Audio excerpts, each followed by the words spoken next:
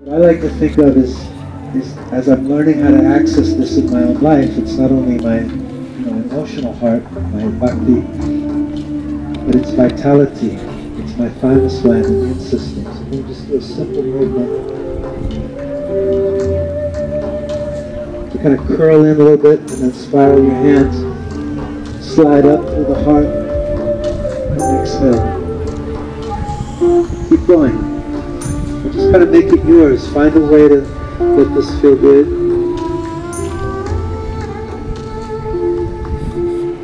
See if you can find that positive intention in yourself. By clearing out negativity, stress. Awakening your spirit wisdom. Because it's also Mother's Day, right? Just feel your mother, whatever condition that is we, we're all working with healing here, so helping our mothers wherever they are.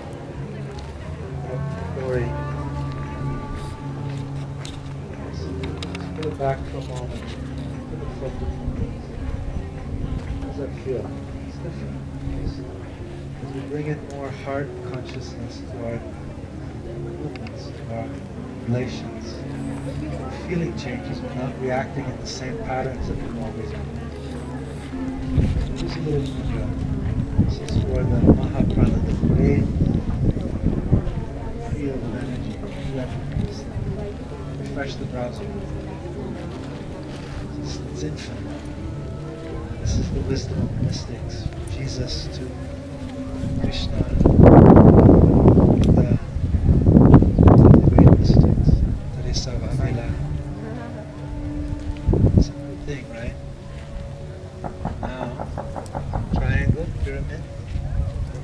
The earth symbol for cosmic energy.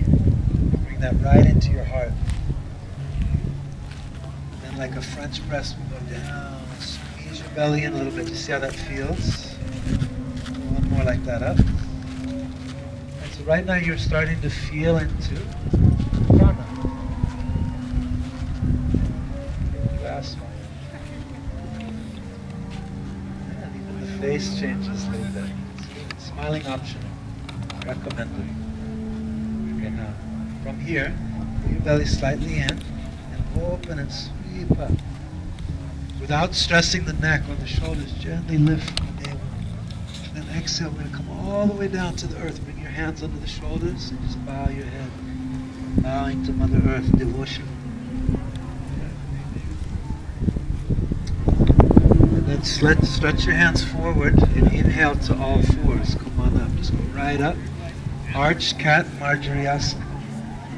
And with a lion breath, exhale round. Do two more like that. Yeah.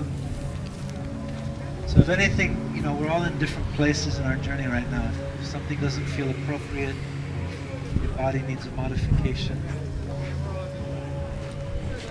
feel free to do that if you have major conundrum.